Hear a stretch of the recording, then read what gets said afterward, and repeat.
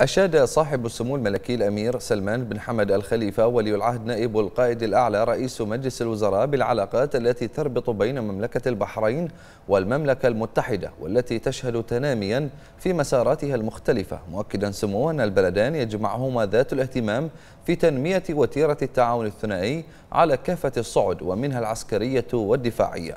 جاء ذلك لدى لقاء سموه حفظه الله الفريق أول بحري توني راداكن قائد البحرية الملكية البريطانية وذلك بمقر القيادة البحرية البريطانية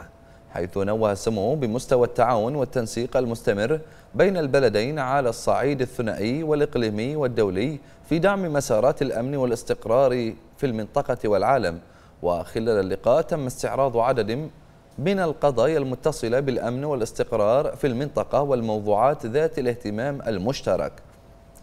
وقد نوه قائد البحرية الملكية البريطانية بدور صاحب السمو الملكي ولي العهد نائب القائد الأعلى رئيس مجلس الوزراء في دعم العلاقات التي تربط مملكة البحرين بالمملكة المتحدة وتعزيز أفق التعاون والتنسيق الثنائي بينهما.